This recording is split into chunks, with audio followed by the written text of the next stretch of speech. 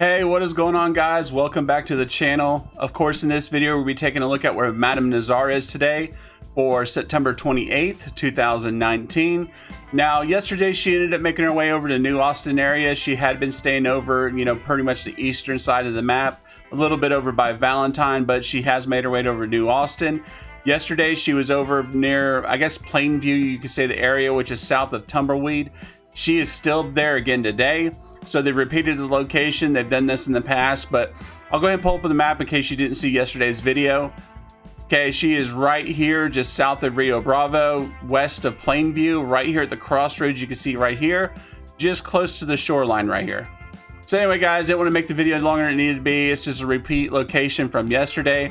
So I appreciate if you like and share this video with your friends. Also to subscribe, click the notification bell so anytime I have videos get uploaded or live streams, you get notified right away. As always, guys, I'll catch you next time in the next video.